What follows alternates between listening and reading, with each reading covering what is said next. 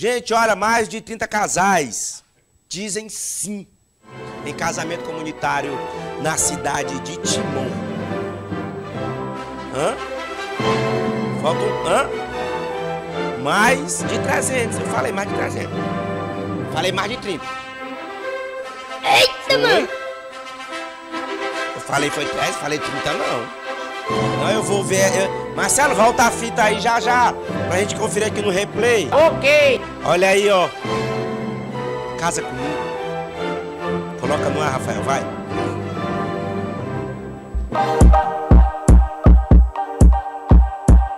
Foram cerca de 370 casais que disseram sim em um dos dias mais importantes para cada uma dessas pessoas. É um dos sonhos meus que está se realizando hoje. Graças a Deus tudo deu certo, tudo deu certo, cabelo, maquiagem, né? Aí com a ajuda da prefeita aqui de Timon, né? Graças a Deus nos ajudando a realizar esse sonho que para muitos é impossível, né? Mas graças a Deus muitas pessoas estão aqui se realizando hoje. Hoje eu tive que realizar os sonhos, tanto meu como o dela, né? E aí hoje nós estamos muito felizes, graças a Deus, realizando um sonho de verdade, que é o meu e o que é o dela, que é nós casarmos e estamos juntos e queremos viver muito e muitos anos. E a gente agradece a toda a população de Timon, né? O dia foi batizado também como o Dia da Noiva, com direito a cabelo feito e também maquiagem. Tudo isso de forma gratuita, a fim que todas as mulheres pudessem ter um momento especial. Cada casal pôde levar dois convidados para serem testemunhas. Essa foi a segunda edição do Casa Comigo. O primeiro grande evento aconteceu em maio de 2023. Agora a gente resolveu dobrar a quantidade. São hoje 393 pessoas hoje dizendo, aqui, dizendo sim, né? É um matrimônio, uma festa organizada que não se resume somente o dia da cerimônia.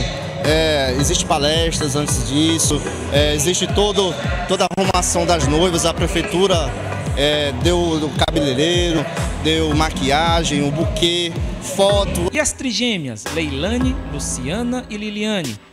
As irmãs resolveram casar no mesmo dia, aproveitando a oportunidade do Casa Comigo. A partir do momento que a minha irmã falou, né, a Luciane disse pra mim, olha, tá tendo as inscrições pro casamento, a gente concordou, né, as três, em, em casar.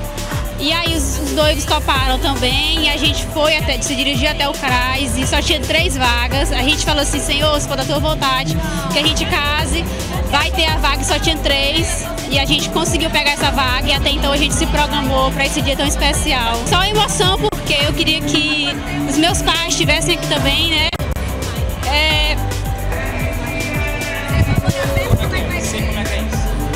queria que eles estivessem aqui prestigiando esse momento único na nossa vida, né?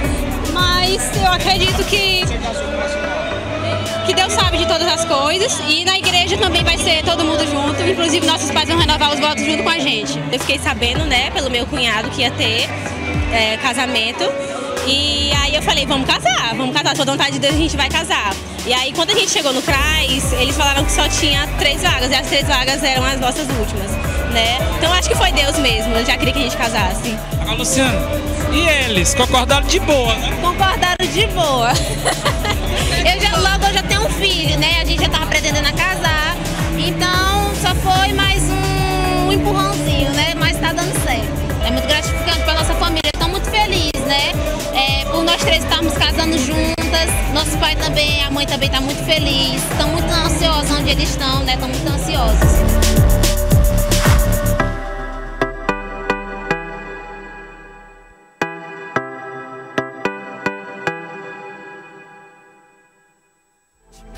Ê, rapaz! Eita!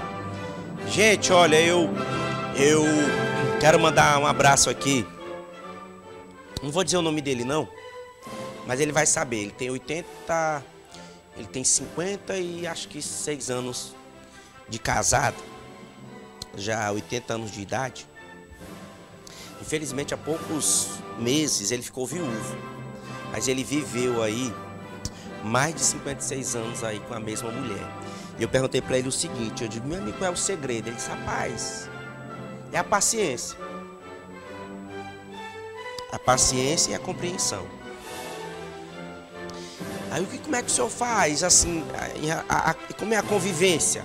Ele disse, Valbert, quando ela briga eu fico calado e quando eu brigo ela fica calada. E assim a gente não estica. Então a cada um de vocês, primeiro de parabéns aí à, à prefeitura da cidade de Timon pela iniciativa.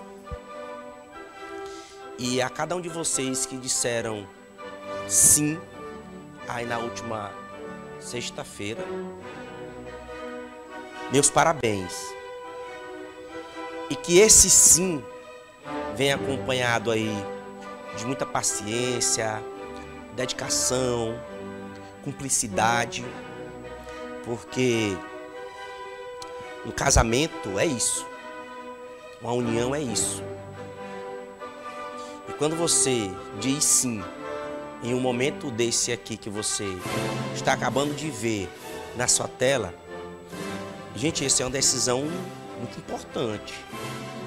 É uma decisão que ela não pode mudar de uma hora para outra, não. Tá bom? Então, que vocês sejam felizes nesse sim de cada um de vocês dois. Que aí não foi só um sim, não. E é nesse momento aí que o padre diz o, diz o seguinte: de hoje por diante, vocês serão somente um, não é, seu Ed? E aí eu fiz até uma música, um verso nesse sentido, que você é somente um, só que depois poderá ser três. Interessante, né? Ser três eu já falo já o fruto do, do relacionamento. Então, felicidades para vocês. Papai do céu abençoe. E vida longa. Vamos para frente. Intervalo comercial, Jéssica. Ah, pá, Jéssica tá assim. Ah, Jéssica, amanhã pela manhã, falar ali com a Carliette, viu? É. Vai deixar, vovó. Gente, olha, nove, nove. Rapaz, essa música não combina com essa. Pai, pai. Eita, Marcelo. Traz pra cá. Ah, Marcelo, agora é outra história.